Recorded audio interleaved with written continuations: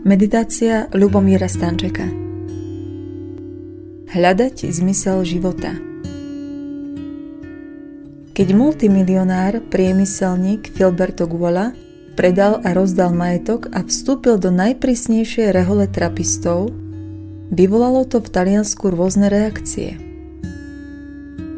Podobne keď George Meyer Melnhof, syn zo známej šlachtickej rodiny, vyštudovaný ekonóm pochádzajúci z miliardárskej rodiny, kde mal byť správcom najväčšieho rakúskeho lesného hospodárstva v roku 1995, vstúpil do seminára.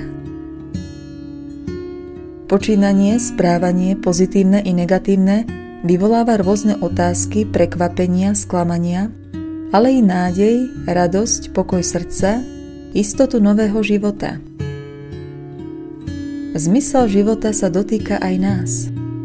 Podobenstva o poklade ukrytom v poli, o kupcovi, čo hľadá vzácne perly a o sieti, ktorá zachytáva všetky druhy rýb, chcú povedať, čo nám Ježiš chce pripomenúť v súvislosti s Božím kráľovstvom. Každý človek kráča svojou cestou života a pritom všetky cesty nie sú rovnaké. Majú jedno poslanie, jeden cieľ – Boh primerane každému človeku vstupuje do cesty. Boh v určitom dni, pri určitej udalosti, vstupuje človeku do života. Čo bolo, nie je rozhodujúce. Je jedno, či človek hľadal Boha, alebo sa topil v hriechu. Poklad na poli bol objavený náhodne. Nikto ho nehľadal. Kupec, naopak, hľadal vzácnu perlu. Oba prípady hovoria, že k pokladu prišli nálezcovia jedine z Božej milosti. Človek objavuje Boha aj vtedy, keď o Boha nestál. Keď ho nehľadal a prípadne keď hľadal, tak ho napokon našiel. Boh sa najprv daruje a zjavuje a potom za slobodného rozhodnutia človeka vyrastie viera – Vždy a vo všetkých prípadoch majú nebeské hodnoty veľkú cenu. Koľko ľudí prešlo po poli, kde bol poklad ukrytý? Ježiš chodí medzi nami a koľko ľudí si ho nevšimne? Kupec hľadá a dostáva vytúženú perlu. Hľadanie nebolo zbytočné. Hľadal stotník Cornelius i Lídia. Ich nasledovať znamená Boha hľadať s celou vážnosťou a pevne sa ho držať so všetkou vernosťou. Pre koho Božia vec nie je hodná každej obety, ten nikdy nepochopí vzácnosť perly. Vzácna perla je nezničiteľná, nemožno ju stratiť a získame ju už tu na zemi, aby tiahla naše srdce do neba.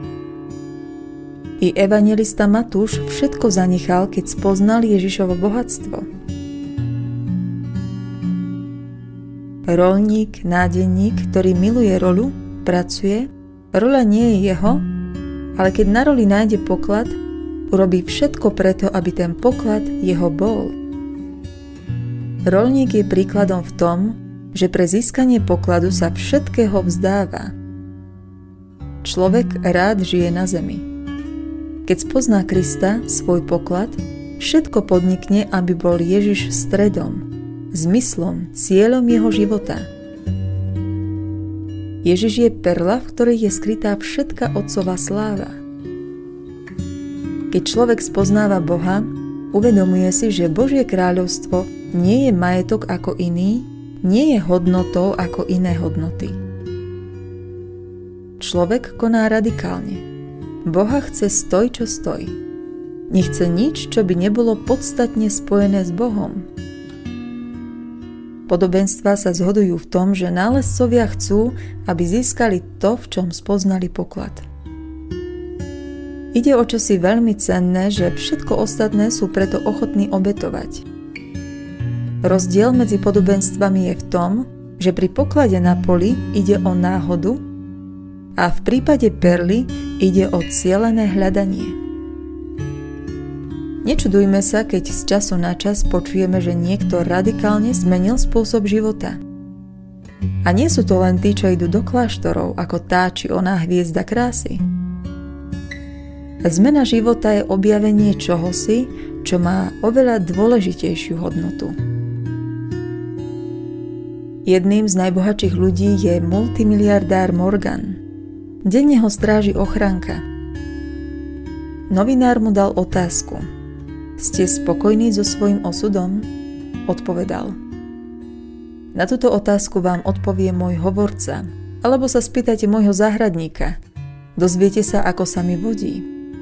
Môžete mi však veriť, že hoci ktorý môj zamestnanec je blaženejší ako ja. Amen.